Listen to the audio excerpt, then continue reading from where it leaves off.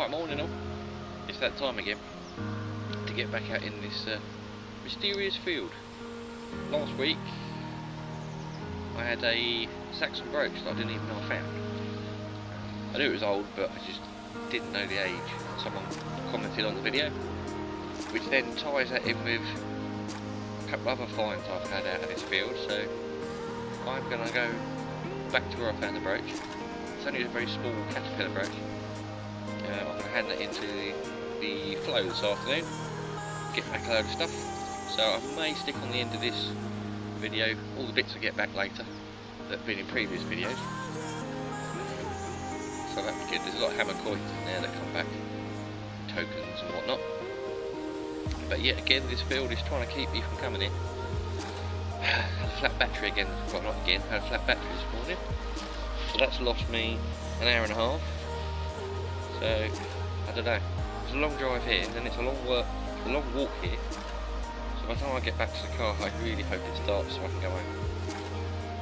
So, yep, I'm going to try something new with the Explorer as well.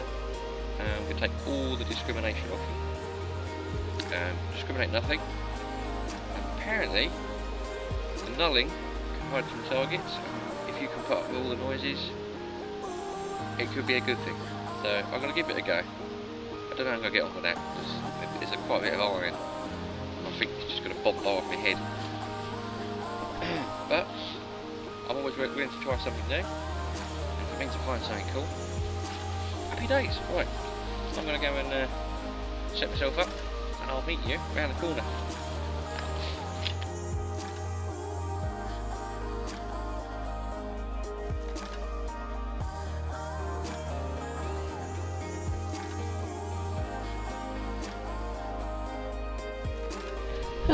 Film this one together. Let me just take my headphones out.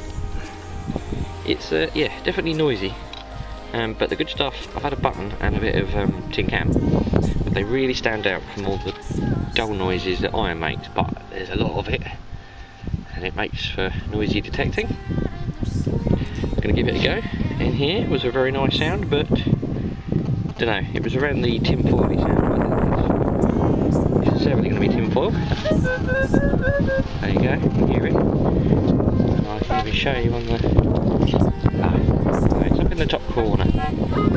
Top right corner. So we're going to... in this bit. Still in this bit. Oh look. It's a bit of one of them tubes. Some people call them cow tubes. I don't know, some sort of medicine. Here once upon a time, so yeah. I thought that was a really nice piece of decorated metalwork then. Which I suppose it is decorated, but not what I want to find today. It's a bit of an old cap gun or something. Definitely an old toy gun. It's got the word Scout written on the other side. Just along the bottom. Hmm. I'll probably find the rest of that later. Well, my next target, I plucked it out the sidewall, just down here. Uh, that's about 8 inches down, and I've turned the discrimination back on, I couldn't handle it, I'm a wuss. And, I haven't cleaned this yet, this just could be nothing. Could be an old cap or something, but it looked like a coin to me. Oh man, it is! 10, 12, that's, is that two Roman numerals there? 12, is that two shilling? Do you know what? I've just back rubbed that, I'm not gonna. Naughty, no, mustn't rub it. Uh, he's facing to the right. Nice big crown on the top. I've got no idea at the moment, not at this stage. Hammer coin. I'm not going to do the dance, it's too hot. Do you know what? This is only about my fourth target that I've dug. Oh, I've got to go and get some water shortly. I can just see stuff on there. Look at that. Guess who's staying in this spot? I knew it! Comes right up here on purpose. Hmm. Right, wicked. Let's carry on. Hmm. Not ideal. Definitely not Saxon tape measure. But I am finding oyster shells in the surface. could be a good time. And a hell of a lot of big, big, big bits of iron everywhere. So that's not helping, but... Hmm, let's persevere then. Hmm, I think it was a silver plated spoon. Not far from the tape measure. Hmm, there's a lot of brickwork and stuff, so whether people were chucking stuff in this corner of the field or whether this was um, a house. I did go on um, an old map website and there was a building, probably where I'm standing, but didn't say what the building was. Not sure if it was a barn or something, so...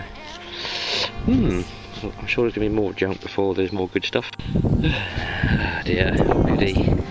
It's a fork to go with my spoon. All I need now is uh, a knife and I can have lunch. Although it does have stamps all over it. There you go, not that they're probably much good now anyway. It's probably electroplated steel or whatever it was. Hmm. I might look them stamps up just see if I can get a date off it if nothing else. It'll have a date mark on it. Hmm, just I suspected, more rubbish. This is a heavily junky area you really don't understand. I've never done anywhere so messy. But out of the mess comes some interesting weird stuff. Front of a motorbike. I've had bits of a toy car just now. That's cool, that's old. Oh dear. There's broken bits of glass, bits of pottery, brick. So God knows what was here, who's been here. I've got to enjoy the sun anyway. Hmm, this is probably another reason I'm getting a lot of ticket signals in this field. Big gnarly bit of bomb shrapnel. Point on that bit. I knew there was a bomb exploded here. There's not many bombs exploded in this area. Because you can check the bomb maps going back in the 40s and uh, I actually know someone that lives not far from here. Actually very very close. And they found the nose cap of um, a big 500 pound bomb in their backyard uh, when I was a kid I remember that. So this is probably part of the same bomb there weren't many bombs in this area. Not really. As for overhead shrapnel well that's different I don't know but yeah. another bit of history. Oh well that was a good four inches I think. A very flat military button. I don't know. Yeah it's just been squished. Looks like one of those general service ones like I found last time here. But that was right at the other end of the place so suppose they got to get in the field somewhere. And this is sort of the entrance to the field so yep see the crown and that in the middle. Yep so many different ages in this field it's uh, I like it. Hmm just about to give this area a break because of the amount of rubbish. I don't know what this is. I'm not sure if that was hinged. It's got something on the bottom.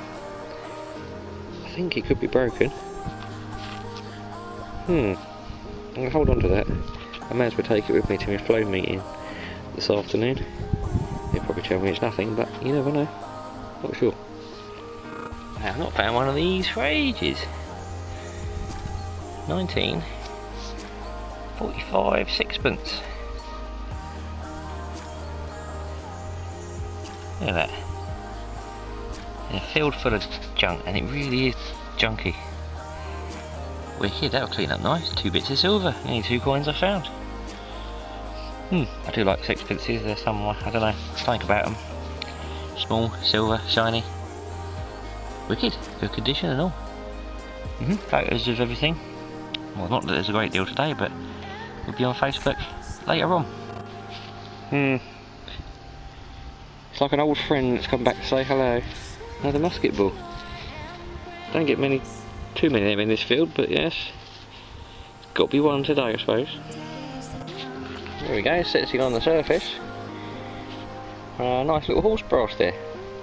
Good thing with this one, still got the tabs on the back. Never had one with the tabs complete. Well, I say two of them.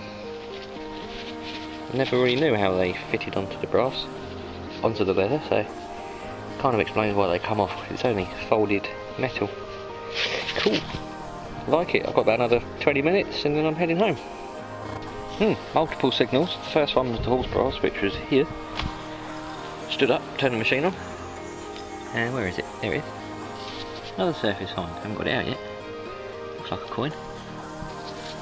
It is a coin. Is it a new one or an old one? Mm, good nick, I think. Tell you what, I'm not going to rub it anymore. It's not a penny. It's not big enough for a penny. Don't know yet. I'll leave that one for later.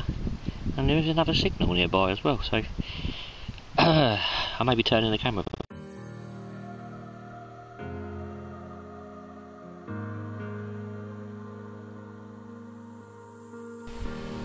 Well, it was definitely a very strange hunt today.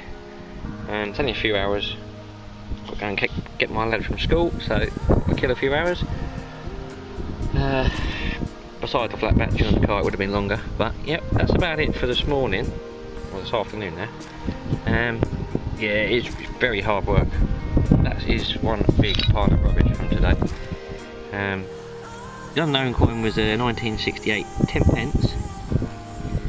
That I think turns out to be a James I shilling. Lovely. Not got one of them. Although I did have a James I um, coin week before last. And that's the 1945 George Sixpence. That is one nasty thing to find. I think it's something to do with those um, cow tubes, but that is a needle. So I presume that's what they injected into the cows. And that's the end that went on the tube. Yeah, didn't like finding that. Um, bit of motorbike, there's a bit of toy car, there's another bit there.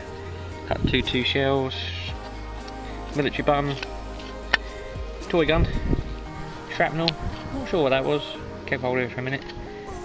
Just a bit of cast bronze, spoon, fork. I'll be back tomorrow, so I might um, I'm check this lot over. It might be two videos in one, or I'll have my finds from the uh, FLO back today, so butt them on the end instead. We'll see. But I will be out tomorrow for quite a bit longer, and uh, we're gonna hammer this little area again. See if we can get up some more hammers. But yeah, right. I don't see you later. I'll see you tomorrow. Alright, at the end of the video, I did say I would see if I could put my fines from the fines liaison officer that I get back on the end. So that's what I'm going to do. I've got back, I think, 15 or so of the 30 I gave him. And he's done all the ones from... There was one field I did back in May, I think it was, where I started my silver hammer coin streak. And uh, I've got them all back, and my Romans. Um, so yeah, I've got two Romans from like the 3rd century, which would be that little tiny one and that one there. One was a Constantine and one was a Victorinus. Then we've got the 10th to 11th century uh, stirrup mount. I love that. Uh, apparently there was another half to that. That's 10th to 11th century. Uh, there was a little harness mount. Um, 12th to 14th century. Two buckles, one was tinned and one was silver plated. Um, there we go, there, 14, 15 hundreds. They're really nice, I like them because they're small. And that was a bar, what they call that, a bar mount. That is absolutely tiny. Weighs less than a gram. And that was about the uh, 1200s. That one there was a, was it, a buckle plate, that was it. Two spectacle buckles of 15, 15, 1600s I think they were. 15th century and 16th. So they were cool. And then over this side we've got a 16th century thimble. Big one with triangles stamped all around it. Two lead buttons. They're just medieval buttons. The coins were cool. Uh, actually that that mount he actually had to send away to the person that wrote a book on mounts. So apparently it's a bit of a special one the first hammered, hammered, well the Jetton, 14th century Jetton. So that would have been around the, where are we? Yeah, Edward III, Richard II era. Um, it's got a long cross on it. Then we've got three Edward pennies. But he said the interesting thing about these three, although they all found quite close to each other, that one was minted in Durham, that one was minted in Bury St Edmunds, and that one was minted in London, which seems to be a common one. And they're all in very fine condition. So that's what I've got back at the moment. Uh, I'm going to get the rest of it back. I've got more hammers to come back, the Venetian silver, um, and such like. They're going to come back in January. I handed over some stuff I handed the hammer coin over.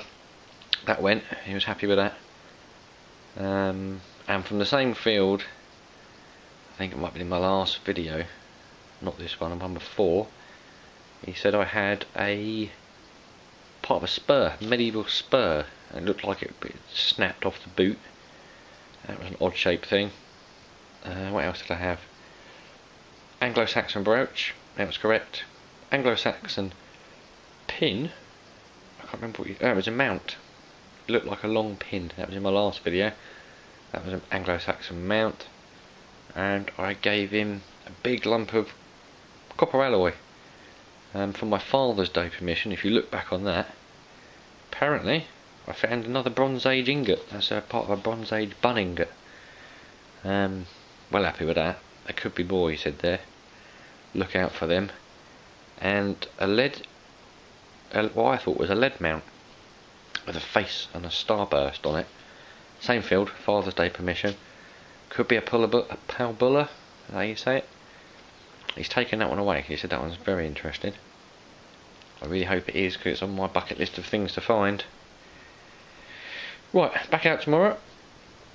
Same, well, same place as today. And I thought I'd just show you. You can go back through the videos and you'll see all of these pretty much over a couple of videos. May, June-ish. Um, my Hammered Street. These finds are in there. Um, and then my next lot will come back. I might put a link on the end to this where these came from then you can just click it and away you go. Thank you very much for watching. Hope it was interesting. Any questions? Please ask. Um, oh I'll take pictures of all of this. Bung it on Facebook and then uh, you can have a close look. Cool. See you later